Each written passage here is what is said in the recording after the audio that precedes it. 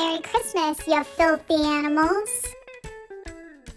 Alright, we're back at it. A holiday Weim time for you, 2020 edition. And I'm starting it off with a mimosa because that's what we do here, guys. And that's what everyone on my feed was doing as well.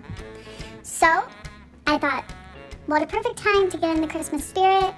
And we're gonna start it off by lighting a candle. And I know what you're thinking. A 13 year old pup should not be lighting a candle. And you're exactly right.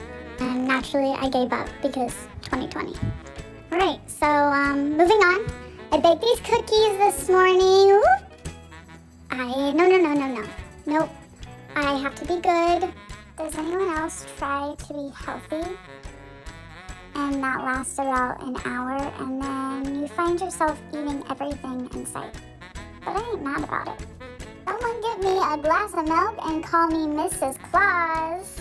I can't even help myself.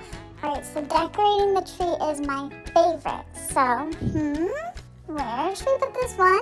Let's see. We'll hang this one here. Oh, that's cute. That's cute. I like that. And this next one. Look how beautiful this one is. Glittery, cute, round, just like me. and as pretty as me. Time to send out my Christmas gifts and write my handwritten cards to my best friends.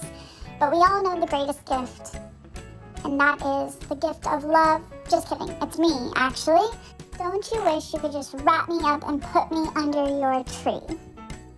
So happy to have spent most of the year doing what I love, and that's eating, sleeping, and hiking. So 2020 has been pretty much amazing. Happy holidays from me and my family to yours. Bye!